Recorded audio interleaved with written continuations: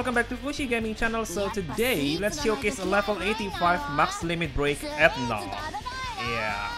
Okay, so this is not my account, okay? This is Gumi's account. Gumi lent me this account so that I can make the review video for Etna. Okay.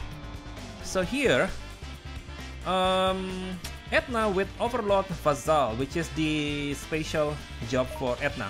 And the special gear, he attack 30, agility 6, charm 10 and Jewel obtained plus 5.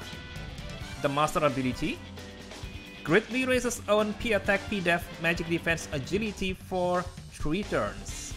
Alright. Seems quite a powerful buff. And then it fits with Battlefield Drama, which is agility 10 gear. The agility is now 117 with Regal Garuda Blade. Yeah, this one boosts P attack and evasion but lowers agility. So if I use, let's say Ninja Stealth, the agility is now 128. Yeah, I know right, it is still kinda low. Yeah, it is still kinda low, but not bad. So yeah, her agility is not really that high, but I think um, higher agility doesn't always better. Okay, depend on the map. Mm -hmm. Well, yeah, if it's for uh, this week's arena map, higher agility mostly better because it is very very small. But if it's on a, a wider map, sometimes lower agility could be better. Okay, so yeah, the P attack is very high, 777. It is like lucky 7. The max HP is not bad with Wonder of Set, 1200. If it's with Alkemono, 1400, still not bad in my opinion. Okay, the PDEF is pretty high. Yeah, pretty high. Not one of the highest, but still decent. The magic attack is low, of course. Magic defense is low, of course. Uh, the dex is not bad, 365 agility quite low, the critical lock and so on and so on. Move only 3, okay? If you want to make her having move 4, you might want to use Ninja Stealth to make it move 4. But yeah, this is my recommendation for the passives. Regal Garuda Blade to boost DP attack and evasion, but sacrifices the agility. Basti Killer, all attack becomes strong versus female character. So extra damage to female characters. Yeah, with this kind of P attack and this, her damage is actually super painful. Sexy Beam, the reaction skill, I recommend this one. Perform physical counter, not chance, okay? It is going to proc all the time. When receiving damage and chance of inflicting charm. Mmm. Yeah. Oh yeah, by the way, the other passives. Taunt. I don't think this one is that good. Lowers enemies combo area also affects some members. No, no, no, no. Not going to be that good. Oh, okay. This might have specific function. Maybe for something like, you know, if you are getting killed by the enemy because of the combo and stuffs, you might want to try this. But other than that, nope. Ninja Stealth, you guys already know. The Book of Five Rings greatly increases damage inflicted when countering. Nope. So the best two are Basti Killer and Regal Garuda Blade. These two's combo already very good. And the other reaction skill, Poison Fog, not recommended. Chance of inflicting poison. Really? Fear Tsubame Gaishi. Physical counter, 100% hit, inner defense. And chance of inflicting disable heal on attacker. Actually a good counter, but I still prefer this one, because it has a chance to charm. Okay, so basically you can use her either as Overlord Vassal, Ninja, or Blade Master. As a Blade Master, she can use the basic Magic Servant to get doubles on P attack, kinda like um, slightly weaker charge up. Yeah, but still can do the thing. Just like Setsuna, she can do the sadistic and then do Tiger Tremor for the AoE. Yeah. As for Ninja, it is too bad that her agility is not that high. Even with agility 10 gear, her agility is only 154, which is still kinda slow if it's for this week's arena.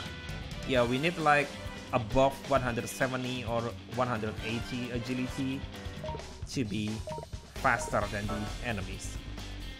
Okay, so let's just showcase uh, the Overlord Vassal in this video because I think you guys already know what Ninja and Blade Master can do. So yeah, yeah. Before I showcase her skills, the leader skill raises Pierce damage by 30% and HP 20% for light units. I think this one is a good leader skill for units like okay Etna herself and Spica, and also Frit. Frit will get Dragon Cavalier plus very soon. So yeah, we can build a squad with three light pierce characters. okay, this setup. So Basti Killer. But yeah, it's not going to work against these enemies because these enemies are genderless. So the initial jewel is 61. And basically she cannot even use her master ability right from the beginning, but that doesn't matter because we don't really need this either. I mean like something from the first turn. At least she can use Death and Chaos right from the first turn. And the damage is pretty high. Yeah, as you can see here, these enemies are genderless, only human, but it is not male or female or anything. They are genderless. Etona human female, okay? So the Basti Killer is not working in this video showcase. So basically, her damage can go even higher to female enemies. Um, okay, to the dark enemy, the normal attack damage is 1500, to the water enemy 1100. Prinny Raid, the first skill, inflict physical damage medium, range 3, 1800. So it is around 120% damage multiplier, which is not bad at all. Especially, uh, the jewel cost is very low, only 10, and it's range 3, I mean, uh, one range further than the normal attack, that's really nice. And then the second skill, Chaos Impact. Inflict light physical damage medium on units in area around self, range square 3. Okay, so I need to get closer to the dark enemy. It is area around self. And the damages. Whoa! 2200 to the dark enemy. That's a very high damage. It is because of the skill element is light. So it can do very high damage to dark enemy. Whoa. Very very interesting skill. The next skill, Impaler Drop. Inflict physical damage medium on the units within target area and inflict paralyze for 3 turns. Range 3, line 3. The damage is 1800 to the light enemy. Okay. And then the last skill, Death and Chaos. Inflict light physical damage high. Raises ONP attack for 3 turns. Okay, so the damage, wow, 2400. And it could be even higher with that, you know, effective to female character skill. Wow.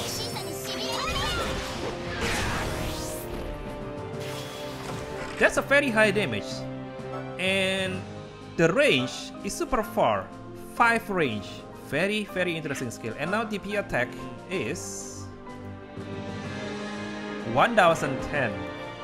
And the normal attack damage to this water enemy is now 1551. It was only 1100, right? So it got around 400 attack increases, around 30-40%. And then from the basic magic servant, 1000 piercings. Inflict physical damage medium on units within target area, range 2. Area special laser. Whoa. Okay, so that's the AoE. 1800. Okay, nice AoE. And the jewel cost is only 15. so Etna kinda have a lot of low jewel cost skill that she can spam. That's really nice. And then Spear Gate. Inflict physical damage medium on units within target area. Range 2 area rectangle 2 3. Oh, okay. The damage is 1800. So Spear Gate, 1000 piercing, Prinny Raid, and Impaler Drop all have similar damage. Alright. The difference is the AoE. Very interesting. The sad thing is we cannot use Sadistic and then Death and Chaos without collecting MP. But we can use Sadistic like this. And we can use the other skills without collecting MP, so maybe still okay. But of course, if you want to get the highest damage she can do, you might want to do Death and Chaos. Okay, the damage got doubled basically. Yeah, the P attack is also got double, along with the P def and... Oh, okay. Yeah, the max HP is from leader skill by the way. Impaler drop 3600. This one, cannot see it, 3600. So Death and Chaos, this is her most damaging skill.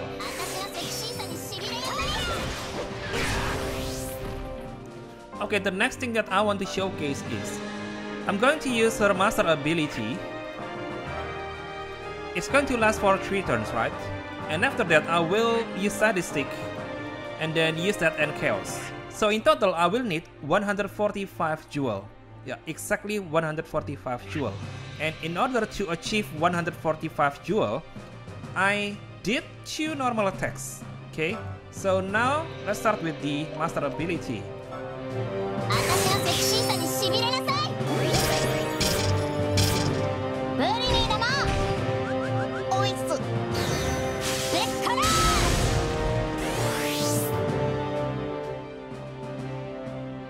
That's a cute master ability. Sadistic after this. Okay. So the stats is now... Whoa, TP attack boost is plus 50%.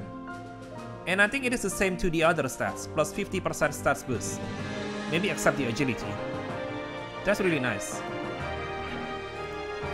And now, if I use Sadistic, the P attack Will it be 1500 or 2200? That's the thing that I want to know.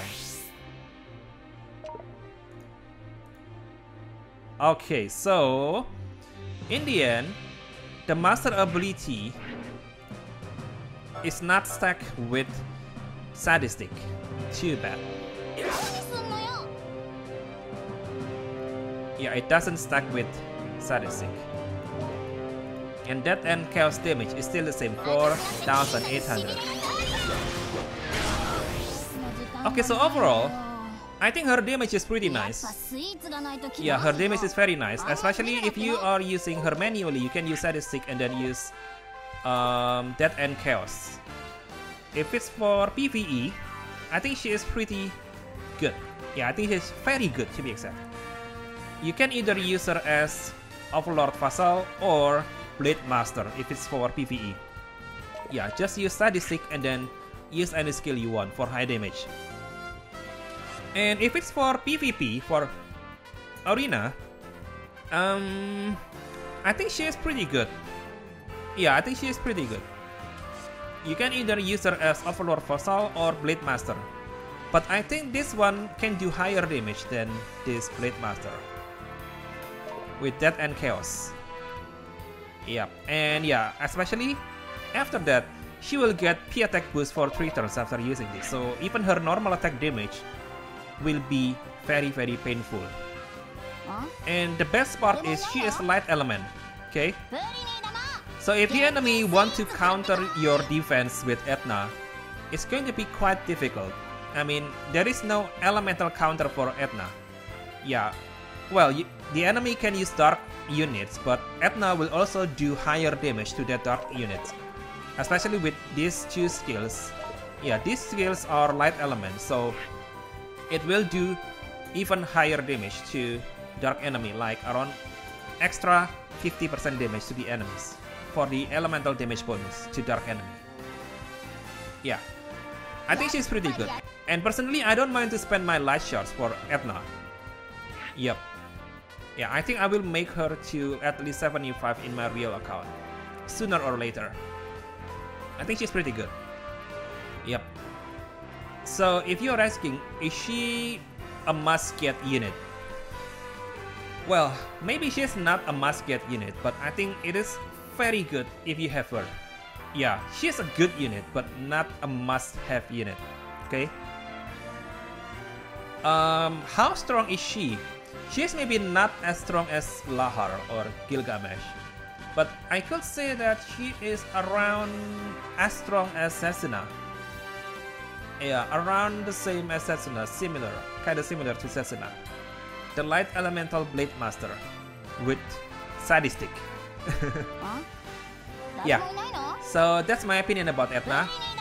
If you like her, if you think she's good, good luck for your Etna summon. Hopefully all of you guys who watch this video can get your Etna on your next summon.